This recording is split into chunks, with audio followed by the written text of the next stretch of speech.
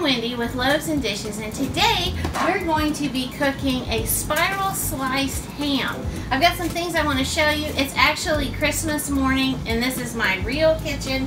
Um, we're not in the studio today so you're just going to have to bear with the bad lighting and everything.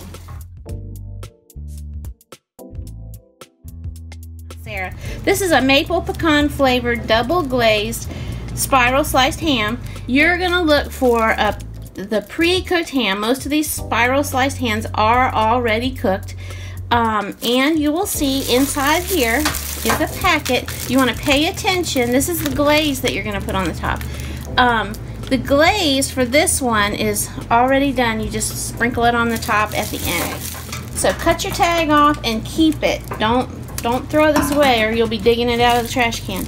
You got to look at how much your ham weighs. Mine weighs 10 pounds almost exactly. Keep your tag and look at your weight and you are going to multiply the poundage. So I've got mine's 10 pounds and you're going to cook it 10 minutes per pound at 325 degrees. Times 10 is 100 minutes. That's, uh, that's an hour and a half plus 10 minutes is the way I look at it. The thing you need to know about a pre-cooked ham is that it's already cooked. All we're really doing is warming it up.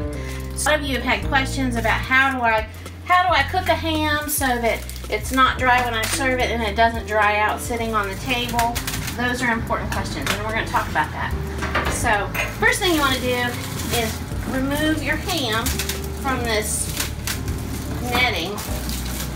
Save your glaze packet. Don't you feel in there, you'll feel it's kind of crunchy. There's going to be some instructions, they'll be right here, about how to do the glaze. Sometimes the glaze is already um, like a liquid and all you do is cut it off and pour it over. Sometimes it's a powder and you mix it with some water, mix it up, pour that over.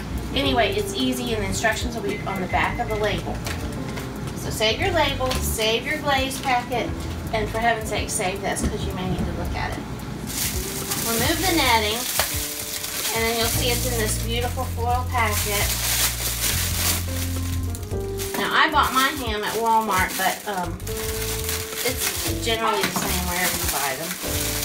And then inside here, you'll see that it's shrink wrapped. Inside, you can zoom in if you want. It's shrink wrapped inside of this packet, and if you look, there's juices inside of there. Now, I do not want you to throw those juices away. I want you to reserve those because they will help steam the ham and keep it um, juicy while it's cooking. So, take very clean scissors. I've already washed my hands prior to this video. And we're going to cut a little hole in the bottom to let those juices drain out.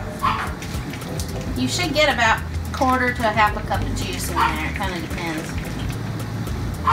Alright.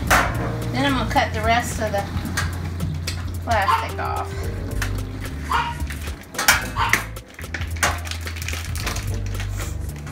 If you have any questions about the pan, this is just a standard roasting pan. I've put a link on the post back at Loaves and Dishes for this type of um, roasting pan, the thing you look for in a roasting pan is a nice thick bottom and you want some decent sides on it. The sides don't have to be so thick. These are kind of flimsy actually, but you want some good handles because you're going to put some heavy things in that pan over time. Turkeys, hams, that kind of thing. And you need to be able to get it out of the oven with some confidence. So good handles are important. So when you get your ham out, you'll see that it's cut already. See that? The cut goes down to the bone.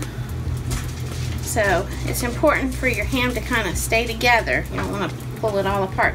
But it's only going to be cut back to about, well this one's not even cut back as far as they usually are. It's to be, this is just to be a chunk of meat when you get done. You can cut it yourself, but those pieces are to be really tight, tiny. I like to save that to cook with pinto beans or, or some other kind of bean. You can find that recipe on Loaves and Dishes too. So here you go. This is all you do. Put your ham in here. Make sure it's all together as much as possible. You can see that's not a lot of juice in the bottom of the pan, so I'm going to add about a half a cup of chicken stock in there. And then I'm going to take heavy duty foil, heavy duty foil, and I'm going to cover this very tightly. I'm to wrap this really good in aluminum foil. It's going to be very tight, and I'm to put it in the oven. I'm going to leave it alone for an hour and 20 minutes probably.